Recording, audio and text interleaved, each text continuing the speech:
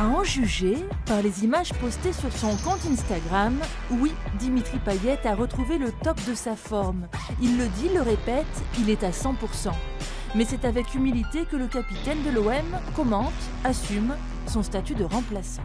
Je vais pas mentir en disant que je suis content d'être euh, d'être sur le banc, mais après je l'ai dit, voilà, si, si, tu, si tu me dis que l'équipe ne tourne pas et que je suis toujours remplaçant, bien évidemment que j'aurais peut-être réagi autrement, mais là, vous voulez que je dise quoi je vais être sur le terrain. L'équipe marche bien, on est sur une série incroyable.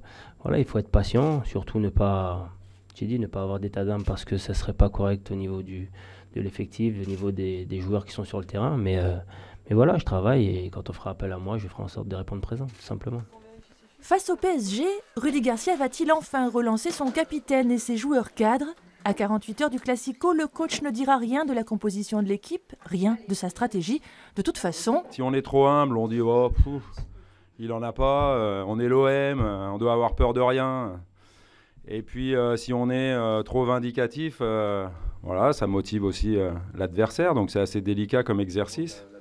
Le PSG, rival éternel, bête noire, grosse machine que l'OM n'a pas battue depuis 7 ans.